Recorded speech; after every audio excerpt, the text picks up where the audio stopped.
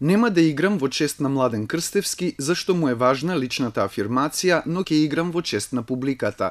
Вака актерот од Велешкиот театар Самил Стојановски ја коментира како што вели наредбата наведе директорот Младен Крстевски до актерите утре вечер по врачувањето на наградата Петре Прличко да ја играат во негова чест представата Елешник.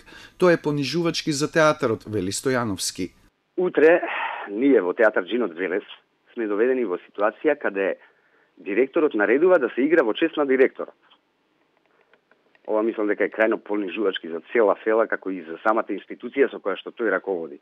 За олицетворение на морална ерозија со себе поставување на пиедестал. Реакцијата на Стојановски доаѓа по анонимните јавувања во Телма од негови колеги, кои го обвинија веде директорот дека сам ги предложил членовите на комисијата кои одлучувале за наградата и сам се предложил за неа.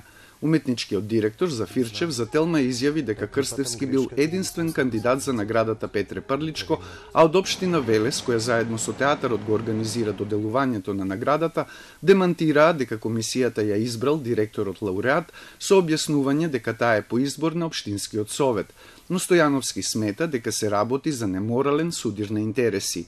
Сметам, со оглед на тоа што и во самиот конкурс стои дека еден од организаторите за давањето на оваа награда е Националната установа Центар за култура Јордан Хаджи Константинов Живан Велес. А мислам дека е судит на интереси. За целиот случај веде директорот Младен Крстевски одби да даде изјава и се закани со тужба. Наградата за животно дело Петре Прличко е во висина од 60.000 денари што ги обезбедува општина Велес. Поминато годишната пауза, таа утре ќе му биде врачена на Крстевски, кој се уште ја врши функцијата и по два истечени мандати како веде директор. Министерството за култура и покрај најавите се уште нема отворено конкурс за нов директор на театарот во Велес.